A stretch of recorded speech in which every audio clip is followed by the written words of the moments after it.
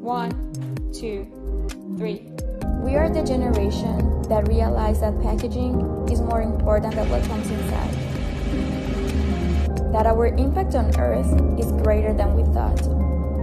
That we want to live a path that is not made of plastic. That if we have the ingenuity to create it, we also have the ingenuity to take advantage of it. That alone we are a drop, and together the ocean. That the planet is everyone's home, and we have to take care of it. That we have the opportunity to change tomorrow, but we are already late.